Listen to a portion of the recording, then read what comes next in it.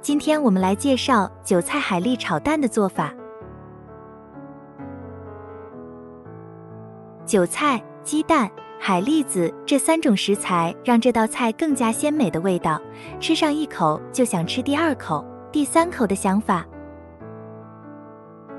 您需要准备以下这些食材，为了方便以后查阅，您也可以点赞收藏本视频。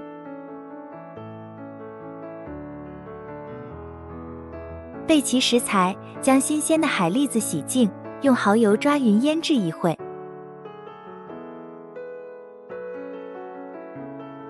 将韭菜末放入鸡蛋中，用筷子搅拌均匀。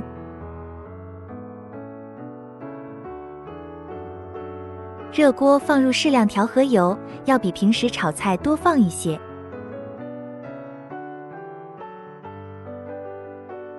油热后，将火腿肠丁放锅中小火煎一下。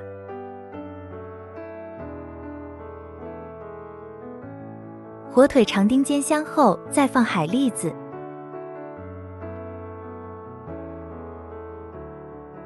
将海蛎子和火腿肠翻炒一会，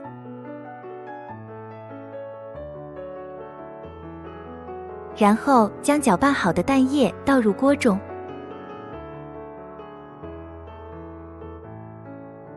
将蛋液炒至凝固成块状即可出锅。技巧：调味不用太多，我只放了蚝油。好了，就到这吧，谢谢观看，欢迎订阅关注。